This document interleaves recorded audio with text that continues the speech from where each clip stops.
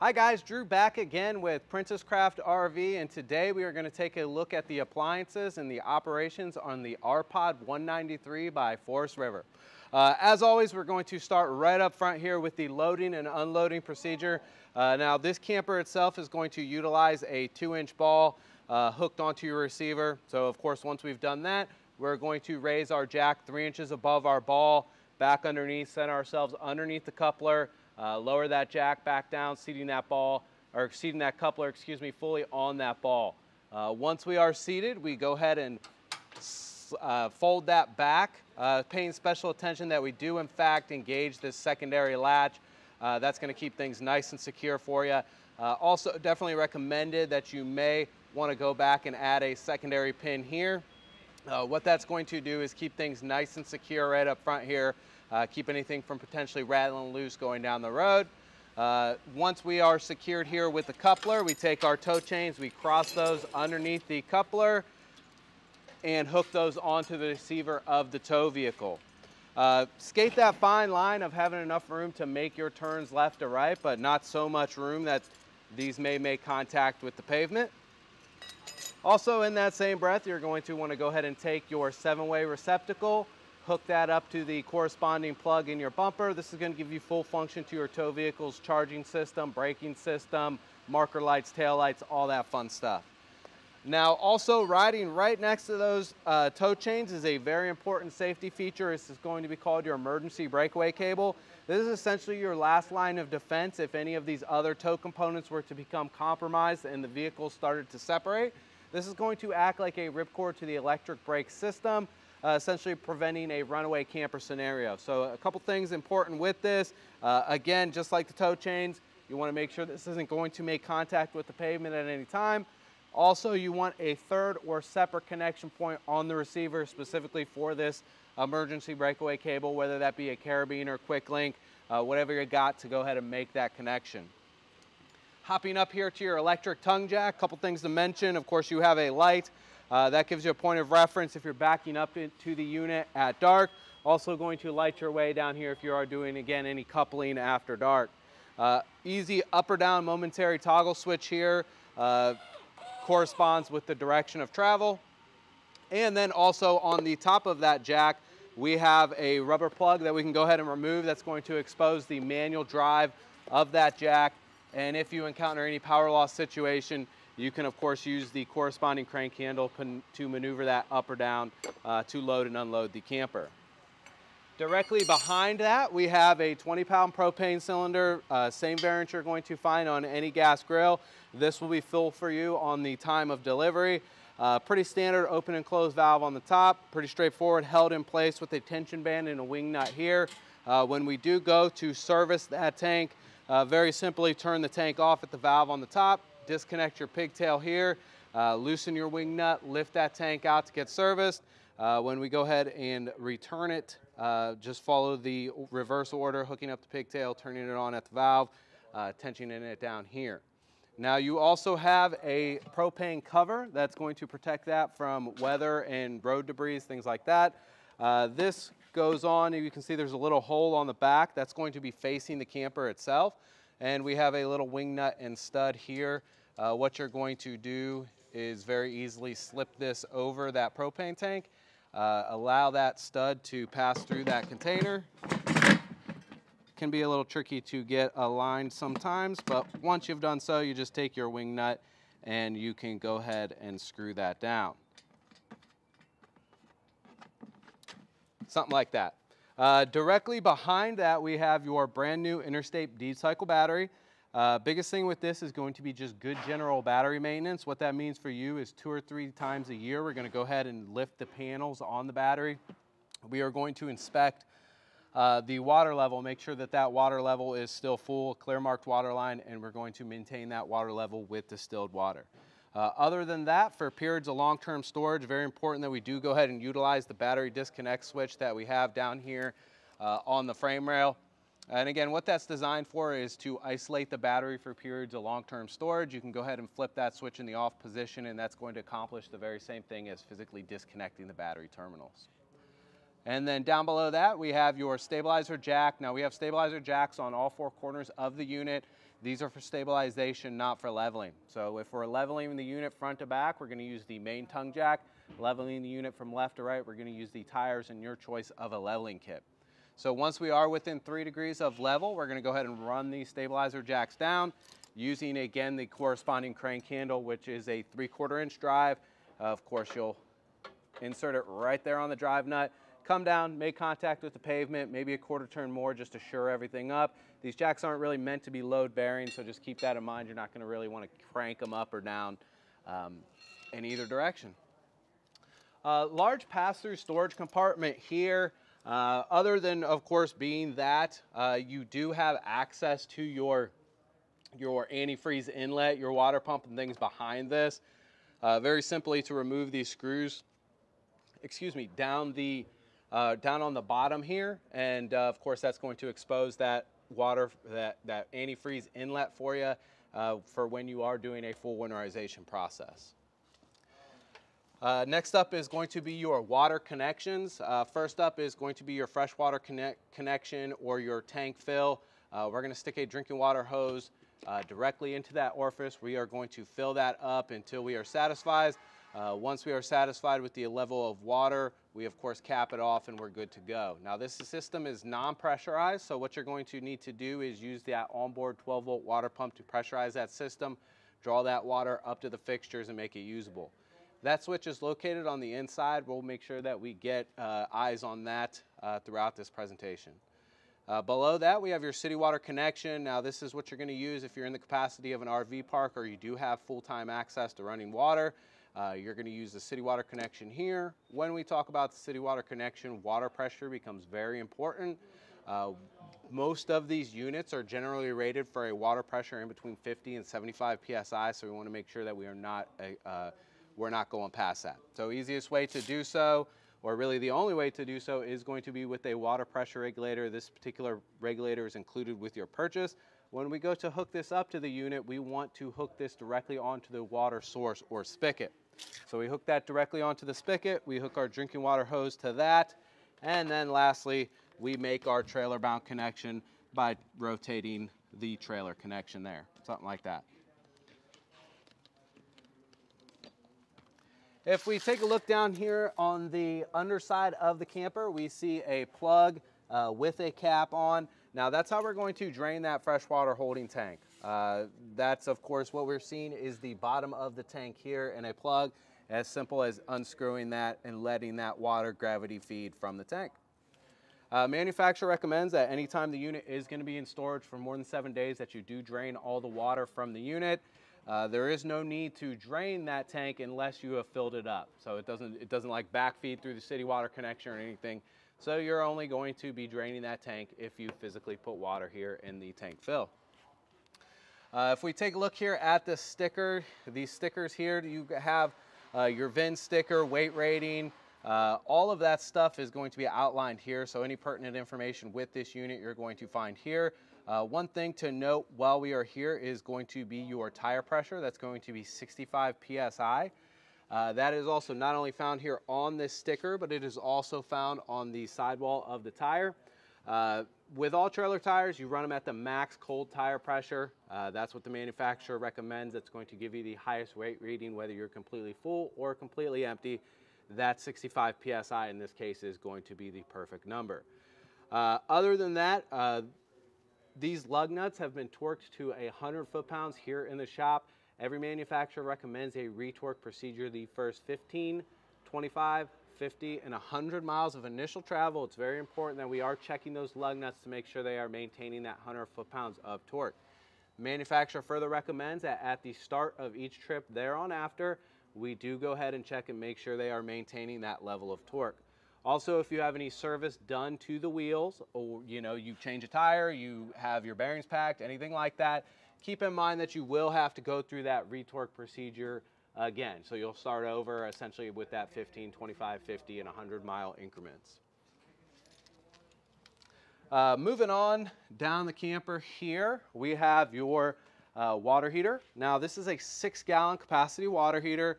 Uh, this is dual source. That means it runs on 110 volt electricity as well as propane gas with 12 volt direct spark ignition. Uh, can also run on both if you're inclined to do so. That's going to give you the highest recharge rate. Now they do separate these switches. The switch that we have here on, behind the gas valve here, or the regulator I should say, uh, is going to be the 110 volt heating element. You'll find the propane switch inside, uh, and again, we're gonna get eyes on that when we do go into the unit. Now the manufacturer has some very specific uh, recommendations when using this unit. Uh, again, we're going to want to drain the unit if it is going to be in storage for more than seven days, and we are going to drain this separate of the rest of the system. And it's uh, from a safety standpoint, very important that we do it correctly to prevent any scalding or anything like that from the water. Number one, give it ample time to cool down, a lot longer than you may think. It is very well insulated. It's going to hold on to that heat uh, a lot longer than you may think. So once we are fairly confident of the temperature, we are then going to uh, we are then going to depressurize the unit. Easiest way to depressurize these units is going to be cutting the overall inflow of water to the unit or depressurizing that system. Uh, you're going to do that by either if you're running off of the potable water, you're going to physically turn off that 12 volt water pump. If you are running on the city water connection, it's as simple as turning off the valve at the water source. So with no new water entering the camper as a whole, we're then going to go to uh, any fixture within the unit, uh, whether that's going to be the kitchen, bathroom, outside shower, any of those things, and we are going to turn the hot side of that spigot on. Uh, what we're going to see is a little bit of water come out of that spigot. What it's doing is it's depressurizing the holding tank of the water heater. And once we've gone ahead and depressurized it, we are safe to drain it. What you're then going to do, once you're sure you've depressurized it, you're going to come here with an inch and a 16th socket and extension and we're gonna go ahead and we're gonna back that anode rod drain plug out of this position here. Uh, once we've done that, we've removed it, we're going to see about five and a half, six gallons of water come from this location. And then once, of course, we cease to see water, the unit is completely drained. We can go ahead and, and replace that anode rod at that time. Now, this anode rod drain plug, however you want to reference it, is a consumable part. Uh, generally, we see our customers get a year or two in between anode rods. Uh, what it does is it acts like a magnet for hard water deposits, calcification, things like that. They deposit onto the water heater and, or excuse me, deposit onto the anode rod and eat away at that as opposed to the inside of the water heater. So it's very important that we keep that in good shape. Starts out about three quarters of an inch by 12 inch. Uh, by the time it needs to be replaced, it's going to be about the size of a pencil and look very decrepit. So keep that in mind. Now on the flip side of that conversation, uh, when it comes time to return the unit back to service, it's very important that we do prime or pump six gallons of water into the unit before we actually start heating that water. Uh, easiest way to do that is going to be, uh, again, introducing water to the camper overall. Uh, again, flipping that 12 volt water pump on or turning the valve uh, at the water source on. So once we have water flowing into the unit as a whole, we're again going to go to the hot side of a spigot or a hot side of a fixture and we're going to turn that on. What we're going to see this time is something slightly different. Uh, we're going to see a lot more water come out, but that flow is going to be very airy or spitty or interrupted. What it's doing is it's displacing the air within the holding tank of the water heater and replacing it with water uh, it takes about five minutes to work all of that air from the system. So once that flow normalizes at the fixture, that is your indicator that you have six gallons of water in the unit.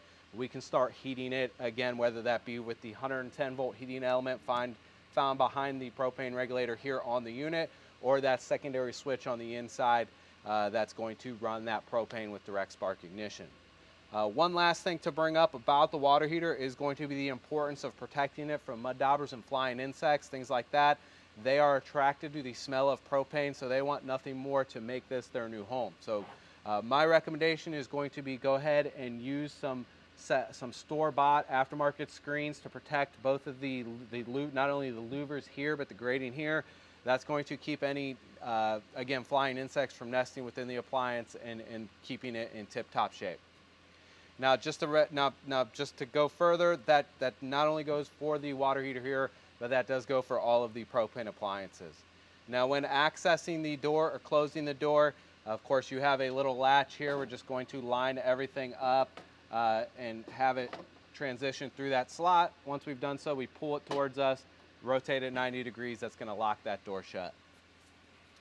Uh, another compartment here. Um, now, if we do need to access that water heater for either you know maintenance or bypassing uh, the water heater for our winterization process, you can either do that right here in the compartment by removing these two screws, uh, or you can also do it from the bunk on the inside. You're of course going to move the mattress out of the way, remove the screws that hold that cover on, or that, that piece of wood that is the, the base for the bed.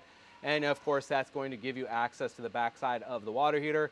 If we are doing a full winterization process, we want to make sure that we are bypassing that water heater before we introduce antifreeze into the system. Now down below that, a couple things going on. Uh, number one is going to be your low point drains. Those are going to be the lowest point in the unit's plumbing. That's how we are going to drain everything in between water source and fixture. All the to and from plumbing is going to be drained via gravity from uh, those two lines. Now the proper procedure to empty the, the unit completely of water is going to of course be the freshwater holding tank number one. If it's been in use you're going to go ahead and drain that. That's that that cap we saw on the underside of the camper. We're then going to come here to the low point drains. We're going to go ahead and open those up let that gravity uh, drain from that location and then lastly we're going to finish up with the water heater outline using that procedure that we outlined just a few moments ago. Once you've done that you have 99% of the water drained from the unit. Now, if you were going one step further and going to do a full winterization process, we would then access the backside of the water heater, go ahead and bypass that. Then we would go back up to the front where I initially said that that antifreeze inlet would be located and we are going to introduce our antifreeze from that location using the water pump. Now also down here on the underside we have your uh, dump valves, gray for gray water. Gray water is going to be anything that comes from the sink or the shower. Black for black water, that's going to be the toilet waste, body waste, things of that nature. And then here on the inside, we have a bayonet, or in between the two, I should say, we have a bayonet style fitting where we are going to connect our sewage hose. Now, a couple things uh, to keep these valves operating correctly. Number one is we're going to keep them in the closed position. We're going to use the monitor panel on the inside and we are only going to dump when that indicates full or we are changing locations, whichever comes first. We don't want to make a habit of carrying our wastewater with us if we do not have to. Uh, the proper procedure on dumping would be, of course, removing the cap here off of the bayonet fitting. Uh, this is, of course, going to be installed and removed the very same way your sewage hose is. So we go ahead and remove that. And you can see you have four prongs here along the outside of that bayonet fitting and then we have two keyholes on either the cap or the sewage hose. We place those in the halfway position and again give that a quarter turn to go ahead and lock that on. Once we've done so with our sewage hose, we're ready to go ahead and dump. A popular option for dumping is going to be you dumping the black water first, letting that dump completely, making sure we close that valve because we do not want to have both of these valves open at the same time to avoid any cross-contamination or backfeeding. Once we are certain that we've gotten all of our wastewater, or excuse me, our black water from the tank, we are then going to open this gray water valve. That's going to rinse any shared plumbing as well as your uh, sewage hose on the way out. Now, most people would go one step further. This unit is equipped with a black tank flush. Uh, we're gonna talk more of that uh, when we get to that, and that is on the passenger side of the unit. Uh, a little further back here, we have your cable satellite in inlet. This is just a pass-through connection to the designated TV area of the camper. This is to feed either a park cable service or an aftermarket satellite package to the unit. Uh, you know, a lot of higher end campgrounds will offer that service as well as just about every satellite provider uh, is again offering a package geared towards RVers. Either way, this is a standard RG6 cable fitting is just going to go ahead and pass through again to the designated TV area designed to feed those services to the unit. And then beside that, we have your uh, 30 amp 110 volt connection uh, or power supply. This plugs straight into the unit. So if we go ahead and take a look, we have two slotted receptacles and one L-shaped. If we line everything up properly, it's going to plug straight in. We're going to give it an eighth inch turn to the right here. That's going to lock it in. Then we do have a secondary collar here to screw down, lock it in further. Now it is my recommendation for every single unit that we do deliver that you're going to go ahead and add a surge protector in line. It's very important that we protect uh, the, the electrical appliances within the unit from uh, surges, environmental surges, substandard wiring, dirty power, all of those things uh, that we cannot see happening. It's very important that we do protect the unit from that. And of course, the only way to effectively do so is with a surge protector in line. If you have any questions on the products that we recommend or how to use them, feel free to give our parts department a call. They would be more than happy to go ahead and educate you further on exactly what we recommend and how to use them. So here to the rear of the unit, first things first is going to be the rooftop ladder access. Uh, that brings me to an excellent point of structural maintenance. Uh, once every 90 days, it's very important that we do a 360 degree inspection top to bottom of the seals on the exterior of the unit. Now, anywhere where two pieces come together, they do use some sort of sealant to keep that watertight. On the roof, what they use is a self-leveling lap sealant, something you're going to have to source generally from an RV dealer. Uh, if we see any cracking, degradation, peeling of that sealant, we're going to use that self-leveling to go ahead and touch up any problem areas. Here on the body of the camper, they generally are going to use a 100% silicone product. I think most of what you're going to find on this particular unit is going to be some clear sealant. So once we've, uh, again, if we see any um, you know, peeling, degradation in that, we are going to remove that bead and we are then going to lay a new bead of silicone. And it's, it's really important that we do are inspecting that again every 90 days. That way, uh, if we do again have any problem areas, we can catch that before the uh, water starts leaking into the area. And again, that's every 90 days. We're going to make sure we're inspecting the unit. Uh, here also on the rear, we of course have your tail lights, marker lights, license plate, all that stuff. Now these R-Pods are coming pre-wired for a Furrion backup camera. Uh, feel free to use any backup camera you'd like. The wiring is there. It is essentially plug and play with the Furrion system, so that's what we recommend uh, but it makes it super easy to go ahead and add that if you wish to do so. Uh, also, we of course have your full-size spare tire here on the rear. When we do come to have to change a tire on the unit, we're going to place our jack directly on the axle, excuse me, as close to the, as, as close to the tire as we can uh, without it interfering in our work, and we're going to jack the unit up uh, from that axle point.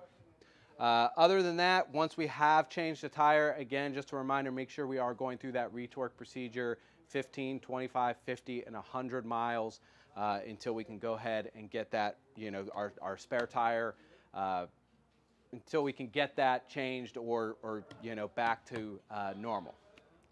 Uh, tube storage here on the bumper. Each side is going to have a removable cap. You can go ahead and store your sewage hose in there or any long storage you wish to do so.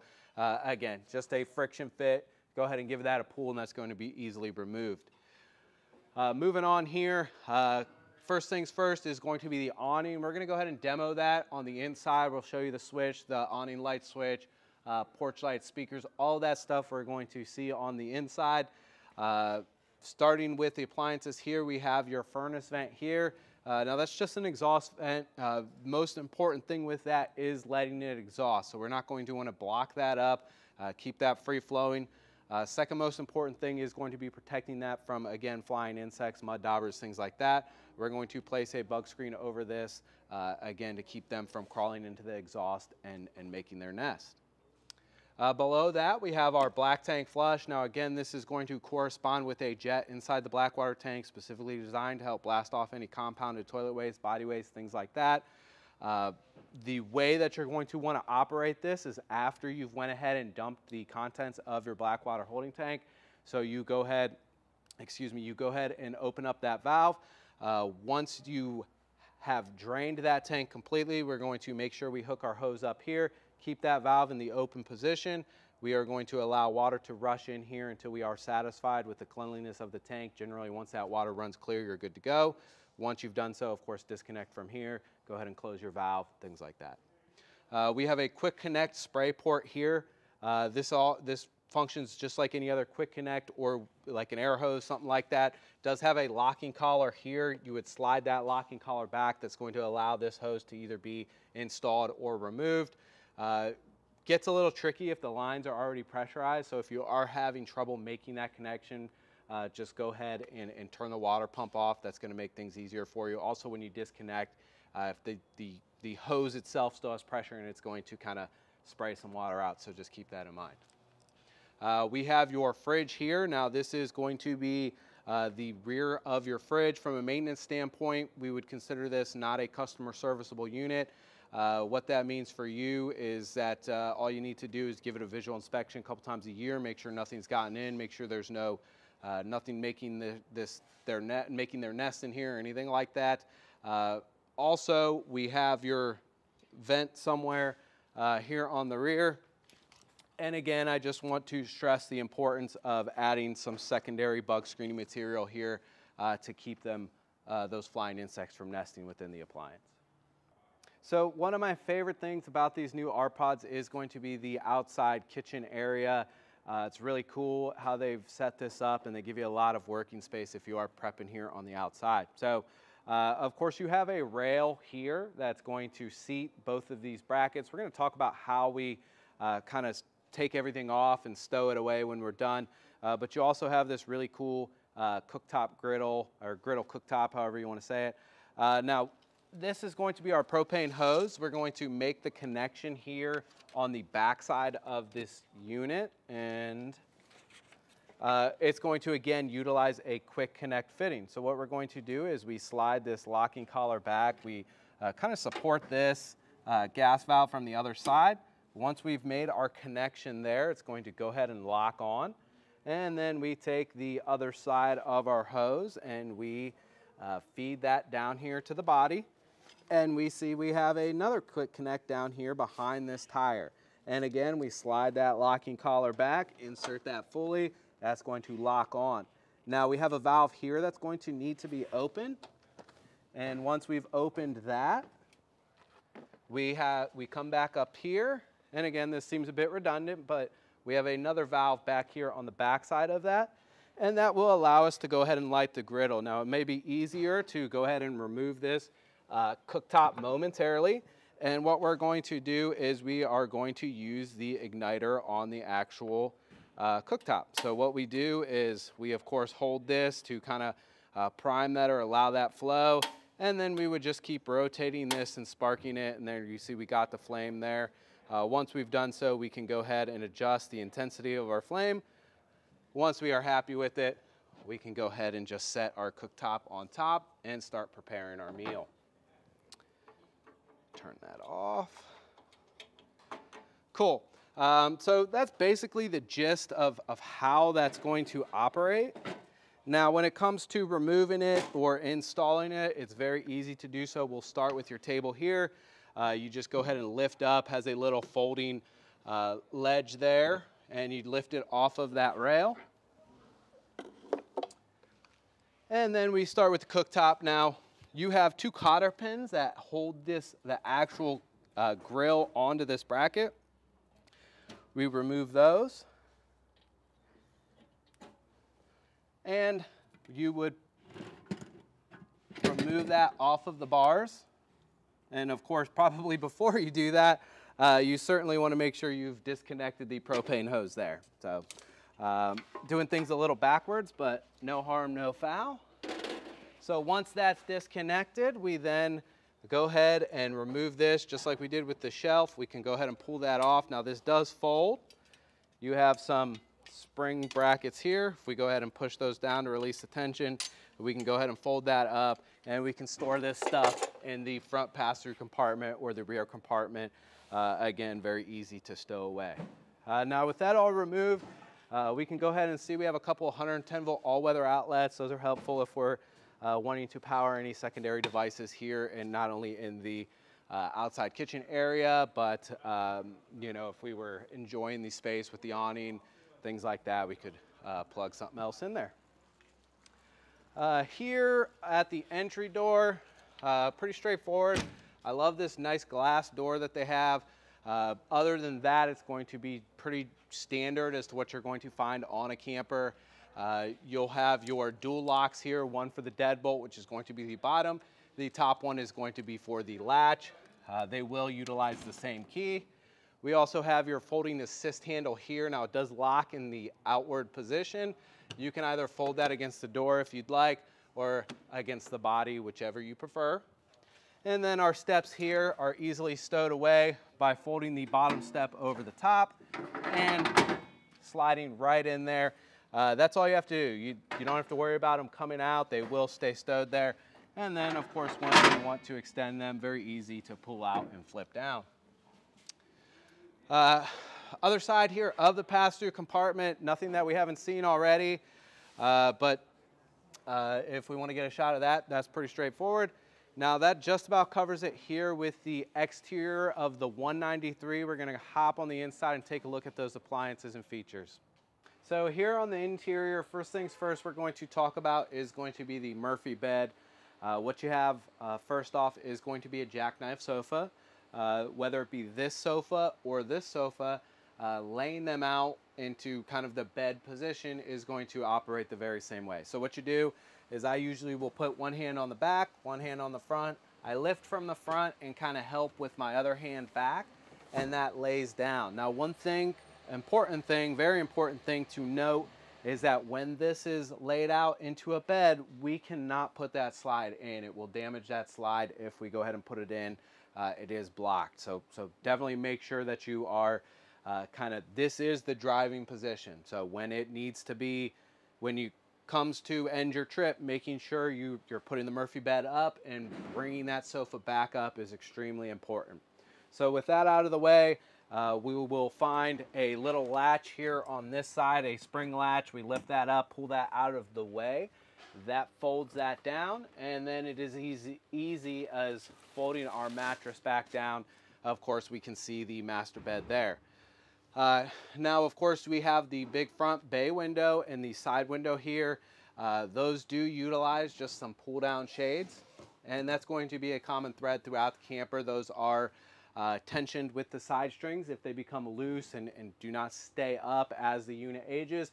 Super easy to go ahead and retension those. Just pull the string a little further out of the keeper, tie a secondary knot that's going to, of course, retension them. Uh, other than that, uh, we are going to fold this up,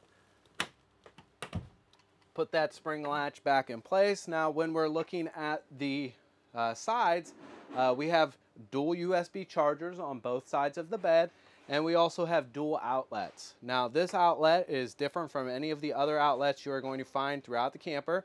This is your GFI protected outlet. Now, they are all GFI protected and all on the same circuit, so if one of them were to get overloaded, this is going to be the reset point to restore function to all of those, so just keep that in mind. Uh, now once we've seen all of that, we go ahead and again, you lift from the lift from the front. You may help out with the rear and kind of fold everything back in. Now, if we're talking here about the television, uh, that's going to be buckled in during transport uh, to keep that from rattling around. And if we go ahead and look up at the connections here, it is a 12 volt TV. Uh, that means you're going to have access to that off grid excuse me, and then if we look here at these cable connections, of course this one here is going to be the outlet uh, from the external cable connection we saw uh, to feed either a, an aftermarket satellite package or a uh, part cable service to the unit. And then this one here is going to correspond with the rooftop omnidirectional digital over-the-air antenna. Uh, for us to be able to go ahead and take advantage of that appliance, we need to make sure we turn that antenna booster on. So if we see that red light on, we then do a channel search through the TV. That's going to, again, bring any over-the-air uh, programming in. Now, if we were utilizing a park cable service, we're going to make sure that we turn that off. That way that uh, cable signal can bleed through the line. And then, of course, again, just a reminder, when we are uh, getting ready, to go down the road, we want to make sure that we do buckle our TV in uh, to avoid any damage. Uh, lights up top all throughout the unit do have a push button on the center of the lens.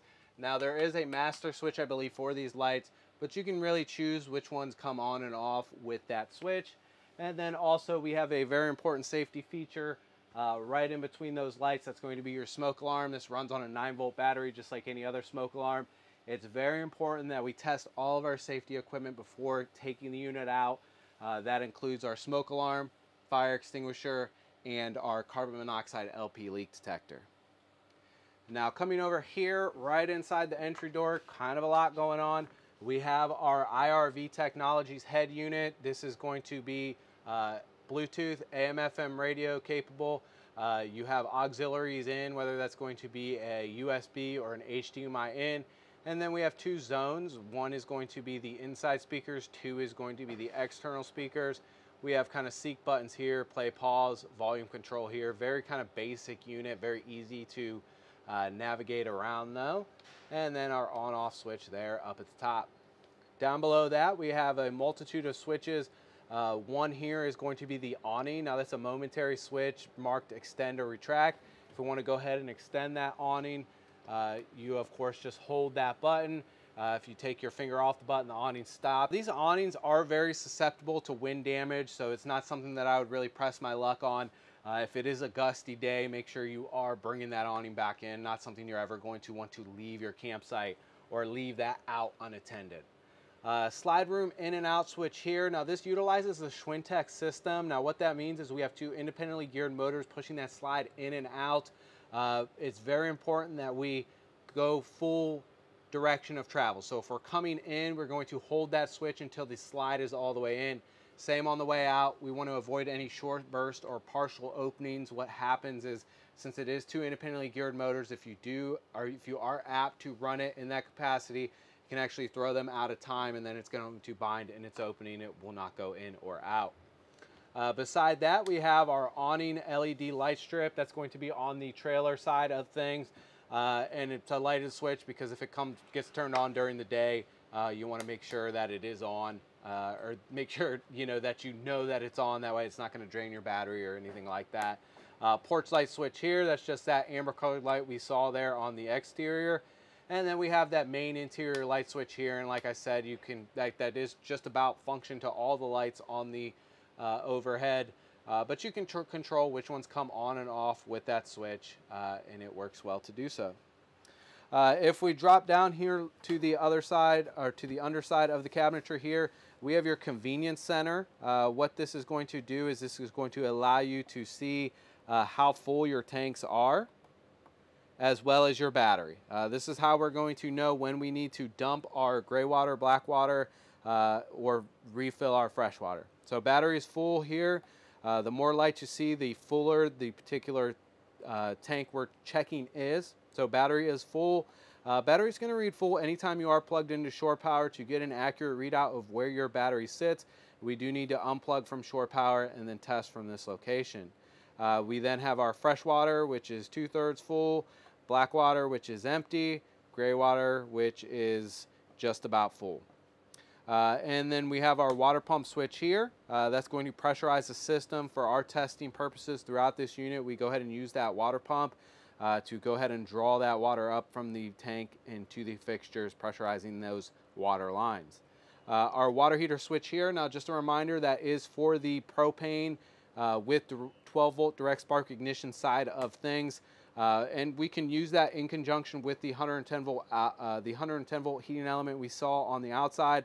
Uh, but that is going to be the switch for that. One thing to mention with this is that uh, if you've went ahead and turned this on and you come back a couple minutes later and you see this little fault light uh, lit up, that means the water heater did not light on propane gas. Now there could be a couple reasons as to why it did not do so.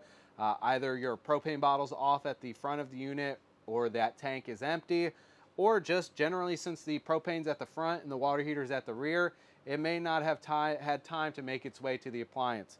Uh, it will cycle three times. If it does not light by the end of that third, cycle, it illuminates this fault light. So uh, in the event that that happens, I encourage you just to make sure your valve's open, make sure you have uh, gas in the tank, and then come here, you flip that switch off, you flip it back on, it's going to recycle another three times.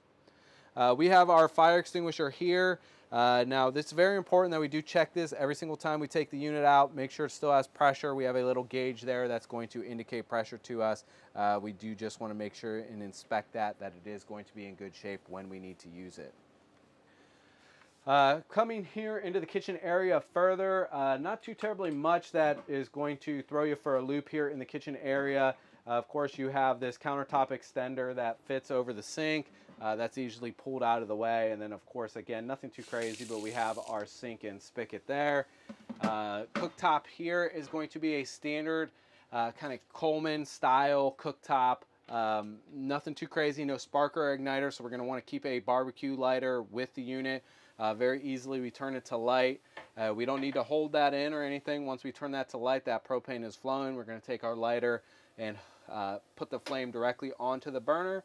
Once we've done so, we can go ahead and choose our intensity of the flame. Make sure that we let this cool down uh, if we've just prepped a meal before closing the lid here, um, trapping that heat there on the inside. Uh, we have a light here and a fan just like you're going to find at home. Uh, it's very important. I didn't mention this here on the exterior of the unit, but uh, that hood vent where it transitions through the wall uh, does have an open and closed flap. So we need to open that up before prepping a meal and we need to make sure we close it before going down the road. That's going to help keep any road debris, uh, weather from making its way here into the hood vent. So just some things to keep in mind. And then down low here we have your uh, convection microwave grill, three-way oven.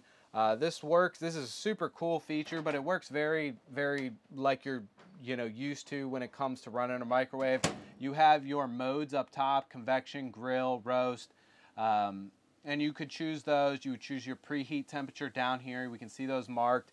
Um, again, comes with a service manual, super easy, super user friendly, uh, and it is a really great appliance. So it, it, it works really well for, for prepping uh, foods that you would generally cook inside of an oven. So it does well for that. Uh, and then down below here we have your carbon monoxide LP leak detector. Again, another very important piece of safety equipment.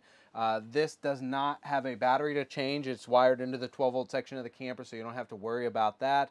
Uh, it is very important that we do test it every single time we take the unit out. Push this test button. It's going to indicate to you with a series of beeps uh, letting you know that it's okay. Now, if it does sense either one of those gases, it's going to use the light flashes here uh, that correspond with the scale outlined on the front of the unit to tell you which gas it's sensing. Uh, also here in the kitchen area, uh, down low, we have your um, excuse me, your converter fuse panel breaker box here. Everything we have on the right side is going to utilize an, a replaceable automotive blade style fuse. Uh, my recommendation is picking up a couple spares of each size fuse. Uh, that way, in the event that they need to be uh, replaced, you can easily do so. And then here on the left side, we have our 110 uh, volt breakers for those appliances. Uh, in terms of function, everything is outlined there on the door. Uh, other than that, uh, pretty straightforward, same kind of breakers you're used to seeing in the residential uh, sector. Uh, they are resettable. So pretty straightforward stuff there. And then right beside that, we have your intervac. Uh, this is again a really, really cool feature. Um, now, in its base capacity, what you see here, it is still very usable. Now, if you want to kind of upgrade that road vac, uh, you can get a hold of them and get the hose attachment here. What that's going to allow you to do is, of course, make your connection here and you would have, you know, a coiled hose that you could use to actually vacuum the unit. Uh, now in its base capacity, you still have the floor pan or floor dust pan, however you want to uh, think of it. If we go ahead and lift this door up, we can see that that powers on and provides suction to this location. Now the idea being is you would use a broom, uh, you'd sweep all that stuff into this direction, open up the door, and allow that to suck that in. Uh, now, when it comes to changing the bag with the unit, we uh, stick our finger here in this hole. That's going to actually be a release. And we can see a bag back there. Now that bag hooks on to the backside of the unit and then we want to make sure it's hooked on here at the front as well. Uh, when it does come to replace the bag, make sure you're taking note of the code on the, or the, the uh, bag that you need. That way you can easily replace it. And then when we put that back on, we just line the tabs up here on the left side, go ahead and stick our thumb back in that hole, uh, and that's going to seat nice and tight there. We have your furnace blower motor here. Uh, now that's where all your heat from this, uh, all your heat is going to come from. Uh, does have a 12 volt blower motor. It is going to be more than enough to keep the uh, temperature within the unit controlled.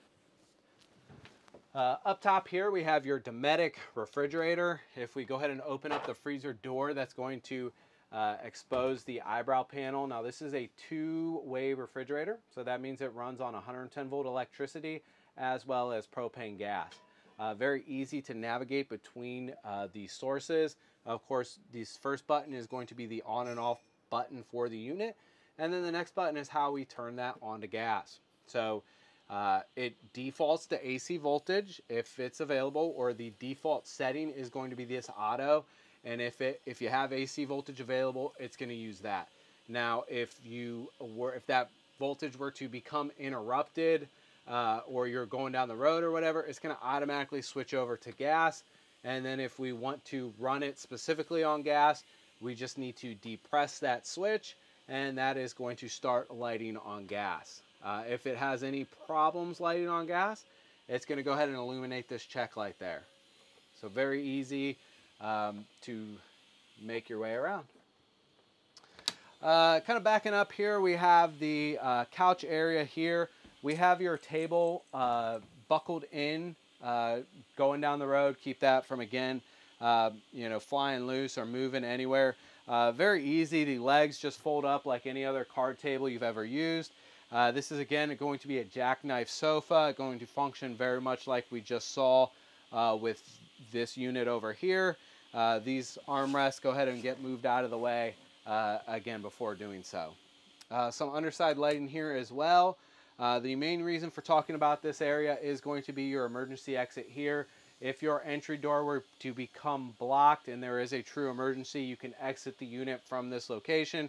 Uh, what you're going to do is you're going to open up both of these latches. What that's going to allow is that window to kind of swing open from the bottom, uh, kind of like a, do a, doggy door, allowing you to exit the unit from this location.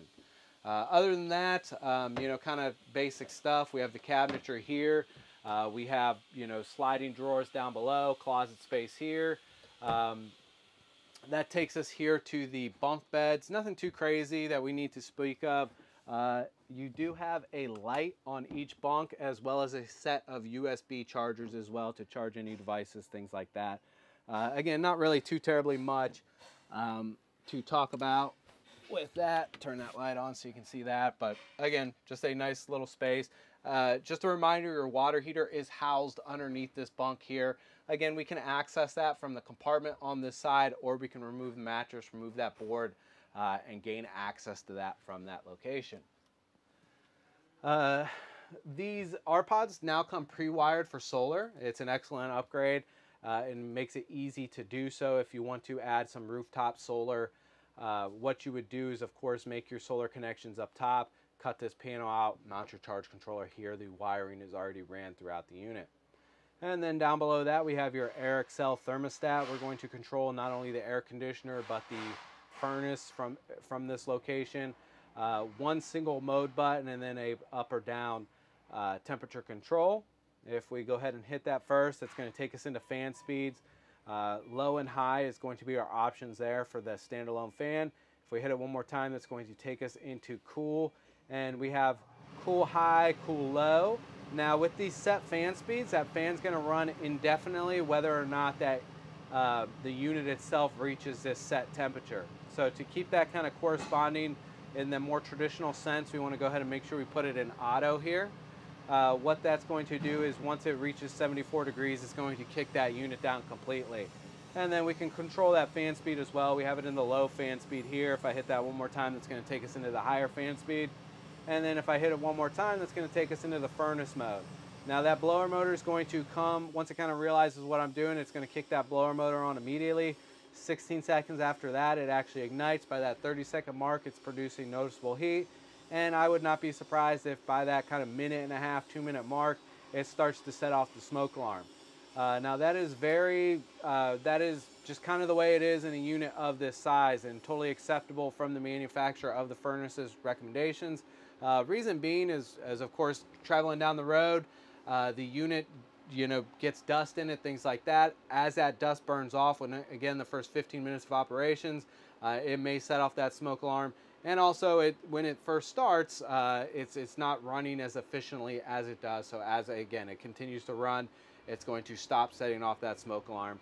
So just keep that in mind, uh, and it's nothing to be worried about as long again as it is in the first 15 minutes of operation. Uh, now coming here into the restroom, uh, nothing too, again, too, too uh, surprising or crazy, nothing that's going to throw you there for a loop. Uh, but uh, our toilet here uh, has a light press on the pedal that's going to fill the bowl with water and then a full press to flush. Uh, any toilet treatments are going to be uh, introduced from this location, whether that be any deodorizing product, a tissue dissolver, uh, enzymatic uh, products, any of that stuff is going to be introduced here. Just a reminder, we do want to make sure we use uh, single ply RV grade toilet paper. That way it can, um, you know, break up in the black water holding tank. And it's very important that we feed as much water to the tank as we can. We again want to keep that in as wet or flowing condition as we can. Um, so nice long flushes are going to be uh, what's recommended with that. Uh, other than that, pretty straightforward. We have our overhead light switch here right inside the door. And again, that has a switch directly on the unit itself. Uh, you can choose whichever one you'd like. Uh, up high, we have our vent fan. Now, first off, it's very important that this fan is closed during travel. So it should be in the closed and locked position by pushing that, uh, that crank handle up. Uh, up. and then um, when we go to use it, we want to make sure we unlock it, obviously, and then rotate that counterclockwise to crank that up. And then we have four fan speeds here. So kind of, uh, you know, different options. Now this is an exhaust fan, uh, mainly designed to pull any moisture out when you're showering, things like that, uh, from the unit itself. But again, very, very important that we do go ahead and close the unit and lock it before going down the road.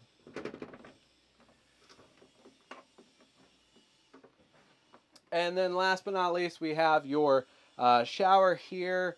A um, couple things that are pretty straightforward is, uh, you know, you of course have your, your sink and then a diverter that's going to route that water up to the uh, shower head. And now you got this cool uh, new feature. Uh, it's escaping me what this, the actual brand name of this, but the idea of this feature being is that when you are uh, running water to the shower or specifically um, you know, hot water, you can go ahead and turn this into the secondary position. What that's going to do is kind of create a loop in the system.